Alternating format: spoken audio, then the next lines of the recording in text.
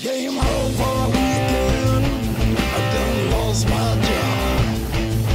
Soon as I turned the door to the door, there was nearly hit the floor. Started walking some paper. My mind turned to paper. A crazy Amazon. Slamming on my cardboard guitar. A guitar.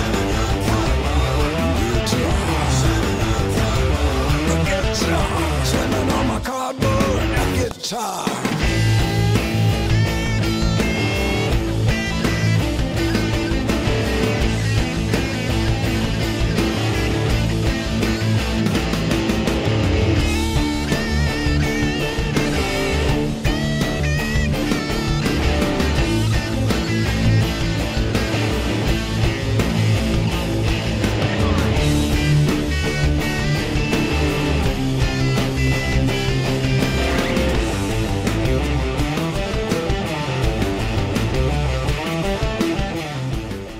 All the talk of tone yeah, coming from the wood, coming from pickups, coming from the fingers, all that kind of stuff. It's pretty funny to find this video online, as I did recently, of Billy Gibbons and Matt Sorum playing instruments made out of cardboard.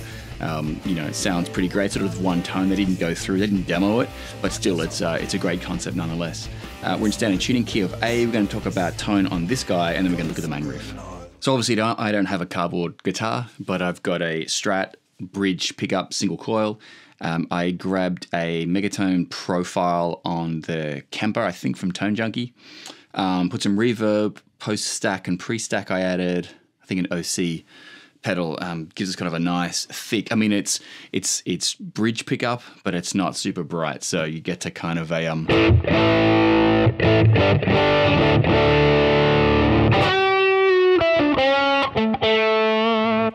Really nice, nice sound there. Okay, let's start with the main riff. A minor pentatonic is your friend on this one. You're thinking sort of box shape five and one. It's it's in those on the uh, the bottom few strings. So.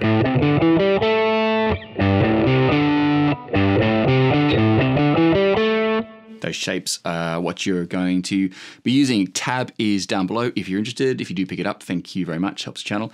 All right, so we're doing this.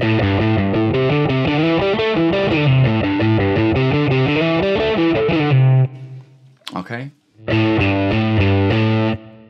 Uh, all alternate picking there.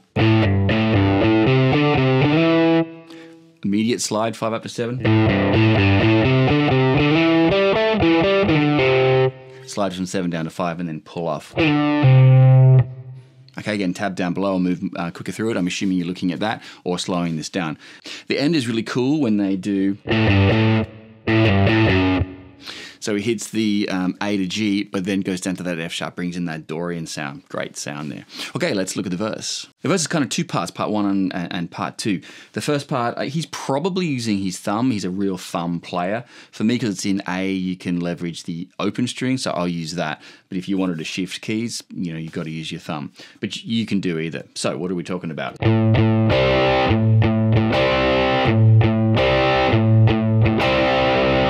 Again, I'm using open string. You can use your thumb.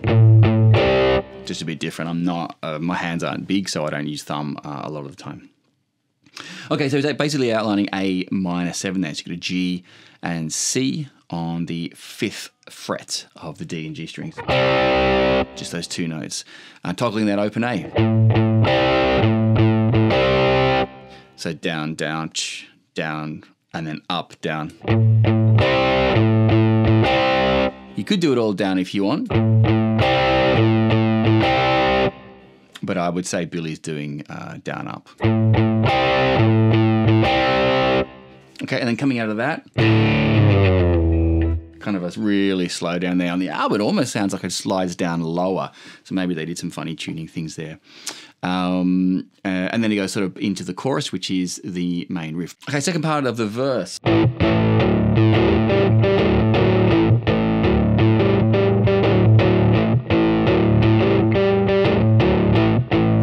Okay, just really going up uh, what you would normally play shuffle. That kind of thing. But it's just kind of a, a eights. But bring that upstroke in there when you go up to the G and come back down again, tabs below. Um, and that's kind of the song. The solo section is a little bit different. It doesn't follow a standard 12 bar blues chord progression. It's still 12 bars, um, but it's one, chord one to chord four, back to chord one. Uh, where it would go to the five, it goes back to chord four and then a sort of a flat three. Okay, and the the um, the riffs are all the same.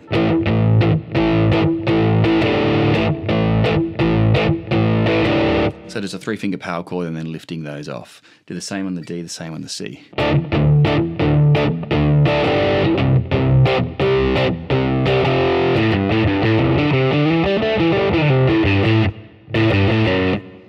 And that's it. Gone quickly through that. Again, Taz Below.